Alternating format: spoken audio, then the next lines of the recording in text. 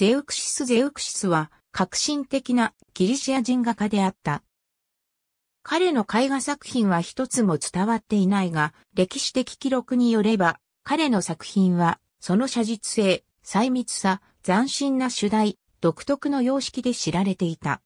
彼は、光と影を操って、質感豊かな表現を作り、平凡な色彩を形に塗り込んでいく、通常の手法に変化をもたらした。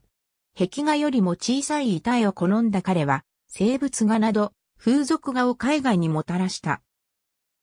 画面構成の手法に貢献し、ヌードの理想的形態という概念へのアプローチへ、最初に取り組んだ人物であった可能性もあり、この方面で影響力を持ったと美術史家のケネス・クラークは記している。伝説によると、世界一の美女であるヘレネーのモデルとして、ポーズを取るのにふさわしい美しい女性を見つけられなかったゼウクシスは5人の最も美しいモデルの部分を合成して理想的な美女を描いたという。ゼウクシスは紀元前464年頃にヘラクレーアで生まれたとされるが、これはおそらく現代のイタリア南東部の長靴の位置にあるバジリカータ州にあったヘラクレーアルカニアのことと思われる。ただし、小アジアのいずれかと考える立場もある。あるいは彼は、シチリア島でヒメラのデモフィロスの下で学んだかもしれないし、エーゲ海北部の島でタソスのニセオスの下で学んだかもしれない。さらには、ギリシアの画家アポロドロスについていたのかもしれない。記録では、彼の代表的な作品として、ヘレネー、王座につく、ゼウス、大蛇を締め殺す、幼きヘラクレスなどがあったとされる。他にも、神々の集い、バラの冠をつけたエロース、アルクメーネー、メネラオス、競技者、パーン、鎖に縛られたマルシュアース、ローバゾーなどがあったという。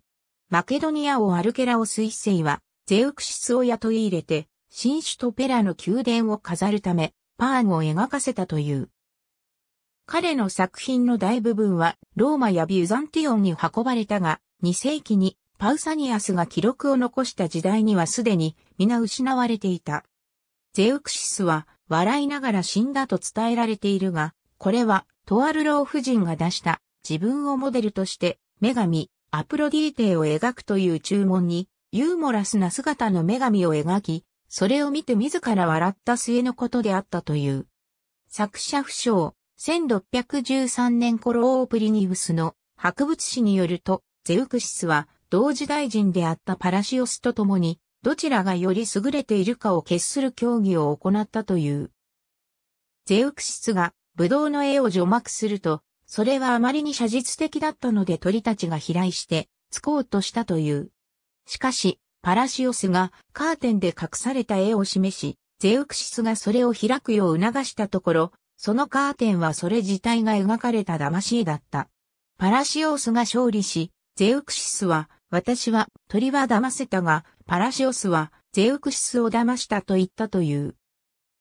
この話は18世紀から19世紀の絵画理論の中で空間的な錯覚を起こさせる技法を擁護するためにしばしば言及された。同様の逸話には、ある時ゼウクシスがブドウを持つ少年の姿を描いていたところ、またもや鳥たちがブドウをつこうとしたため、彼はひどく不機嫌になり、少年の姿をもっと下手くそに描いていれば、鳥たちが怖がって近づいてこなかったはずなのにと言った、というものもある。ありがとうございます。